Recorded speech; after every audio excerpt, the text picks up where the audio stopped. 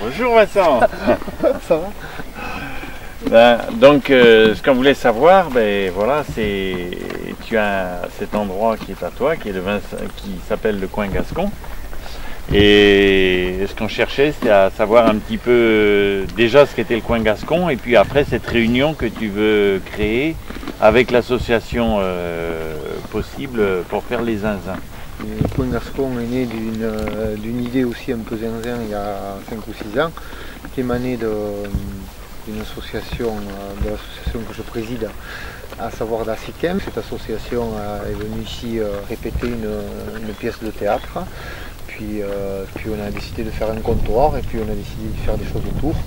Et puis les choses se, se sont, faites, euh, se sont faites un peu comme ça. J'aime bien les animaux, donc euh, pour mes enfants et avec, mes- avec eux, euh, donc on a, on a progressivement agrandi un petit peu le, le cheptel avec des chevaux par exemple qui n'étaient pas à la base. Et très modestement contribue j'espère à faire à transmettre un peu la- la culture locale. D'accord. Et donc, comme dans, dans Gascon, il y a Con, et c'est pas loin de peut-être de, de Zinzin, quelque part. Euh, donc, euh, folie communicative des possibles est venue jusqu'ici. Bon, endroit éloigné et isolé du, du monde. Et j'espère qu'on va pouvoir faire euh, de belles choses, à commencer par le jardin euh, Gingin qui aura lieu le 21 mai. D'accord, d'accord. Et par rapport, donc là, il y a tout un, un travail qui est mis en place pour ça, Voilà. qui est un, Donc, déjà euh, le réaménagement peut-être. Donc, euh, euh, retrousser les manches pour, euh, pour euh, nettoyer et, et embellir et améliorer le, le coin gascon en ce printemps. Euh, ce, qui me, ce qui me donne un- vraiment du, du, du cœur à l'ouvrage parce que j'ai quelques soucis euh, physiques en ce moment et ça me- ça m'aide beaucoup euh, à relancer un petit peu tout ça. Tu as, tu as participé à ça euh, il y a 15 jours. Une toilette un- sèche, ouais. voilà, euh, magnifique et qui s'est euh, Bien, qui s'est- bien. qui s'est déroulé sans, euh, sans plan, euh, sans, euh, sans plan, sans projet, avec les idées de tout le monde. Et je crois que le résultat est assez sympa. Euh, idem pour l'estrade qui va certainement avoir le jour euh, ce soir. Il manquera plus qu'un petit coup de qu'un petit coup de peinture et de finition. Alors il y en a une grosse jument. Il y a une, une jument de trait aussi. Donc ça c'est des, poneys- des ponettes landaises. On a essayé de garder les races du coin. Là tu as une vache gasconne qui est de la même, de la même couleur de poil que tes collègues. hein. Ah oui, je reconnais la couleur des cheveux. Il t'aime pas lui. hein. Mais Et si. Il n'a pas arrêté de tout. Je vais te montrer ce qu'il avait sur la tête encore jusqu'à hier. Ah oui. Voilà. Ce qu'il a, ce qu'il a perdu ce matin. Ah, c'est ce matin. Voilà. Mais ça. ça- Hier, hier, tu vois, tu as encore du sang dessus. Si tu sens, donc, alors ça c'est tombe comme du. C'est comme du. Tu me disais que ça tombe tous les ans. Oui. Et ça repousse au printemps sous forme de velours.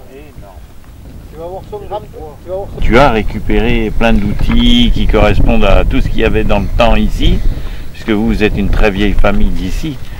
Donc ça a quand même beaucoup d'importance dans le choix de, de ce que tu as sélectionné comme type d'outillage, euh, tu vois, qui vont être présentés aussi dans ce jardin zinzin.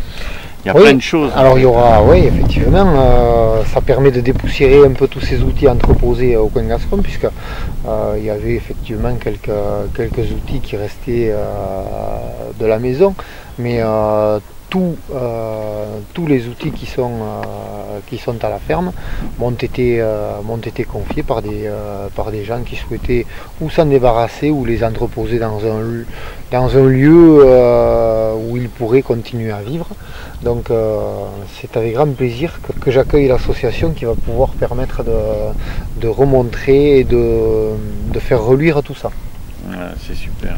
Puis d'en faire profiter aussi tout le monde. Tout le hein. monde, Tous voilà. les gens qui Voilà. vont venir voir ça. La majorité des personnes qui seront euh, présentes ce- à cette manifestation ne connaît pas le site, donc euh, ben, pourront, euh, Donc à cette occasion, découvrir eh ben, les outils, venir faire un petit tour, dire bonjour aux animaux qu'on a autour de nous et, euh, et, puis, euh, et puis surtout euh, profiter et, et vivre cet état d'esprit possible.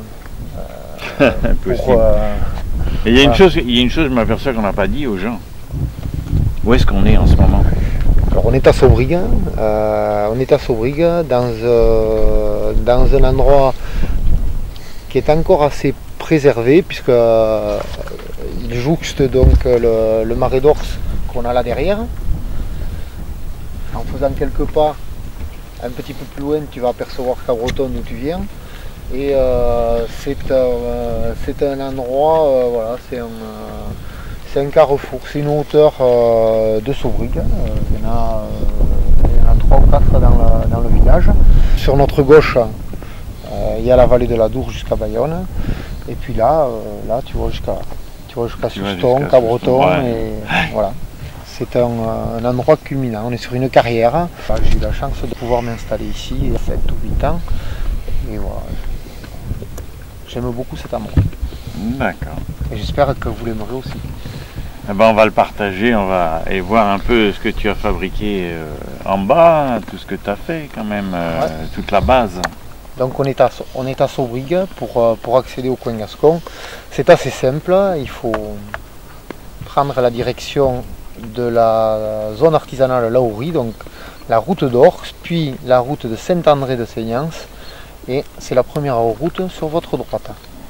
Et après, si vous arrivez par la, par la nationale 117 par Saint-André de Seignance, c'est très facile. La deuxième route goudronnée sur la gauche en allant vers Saubrigue. Ok. On est à on est à 8 km de Tyros, à 19 de Bayonne, à 9 de la Benne et 12 ou 13 de Cabreton. D'accord.